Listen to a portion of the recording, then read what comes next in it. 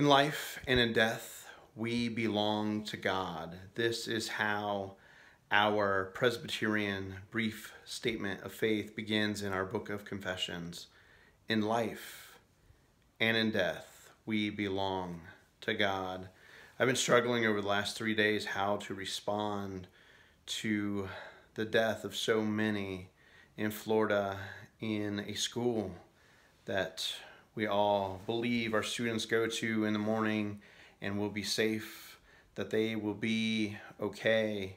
How do we respond to violence at the hands of a 19 year old boy, man,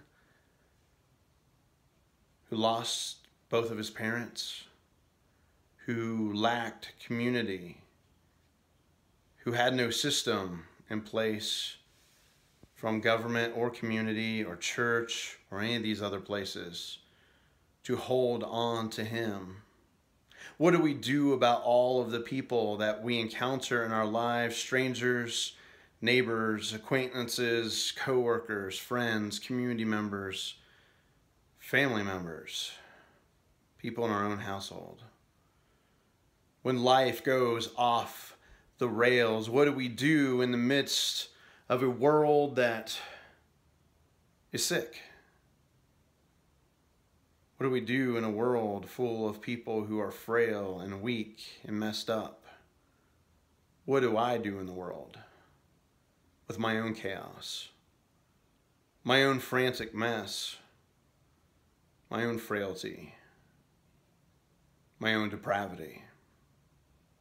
I turn back to those words in that confession. In life and in death, we belong to God, that we trust in one triune God, that we trust in Jesus Christ, that we trust that God is awake, alive, active in our world that what is going on has to do with rebellion inside of my soul, inside of your soul, inside of all of us. That we have violated the image of God in ourselves, in other people. That we accept lies as truth, that we exploit neighbor and nature and threaten death to one another and to this planet that is entrusted to our care. Yet, God acts with justice. God acts with mercy to redeem us. In everlasting love, the God of the ages chooses us, you and me.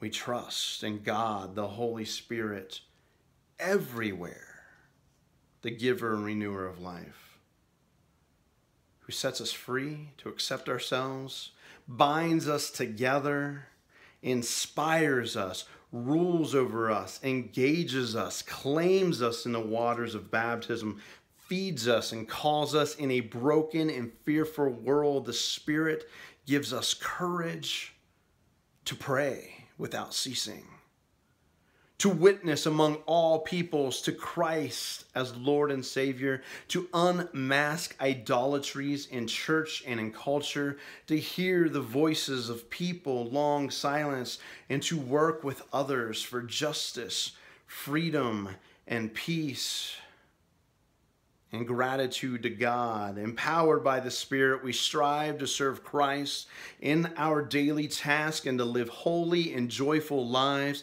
even as we watch for God's new heaven and new earth. Plead for God's new heaven and new earth, praying, Come, Lord Jesus.